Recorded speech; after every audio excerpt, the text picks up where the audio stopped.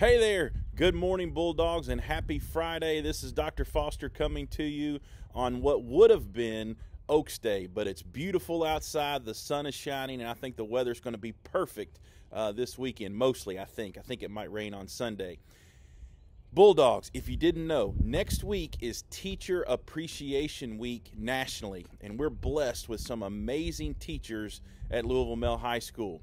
So, I am assigning a homework assignment for all Bulldogs, moms, dads, grandmas, aunts, uncles, guardians. You're in this too.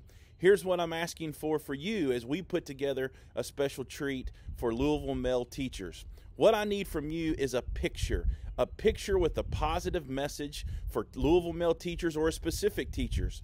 Students, parents, you've seen these on social media with a sheet of paper. It can be simple, it doesn't have to be fancy. Or maybe one of these fancy, great big neon poster boards. Have fun with it. Share positivity. Share your gratitude to Louisville male teachers or a specific Louisville male teachers. But here's the thing here's the homework part.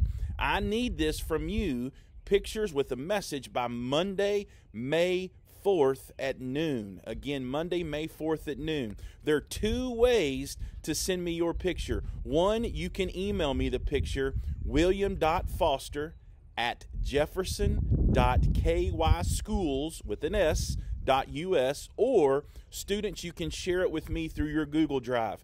Either way, I appreciate you. I hope you appreciate our teachers. I look forward to seeing your creativity. You've got homework. Get it done.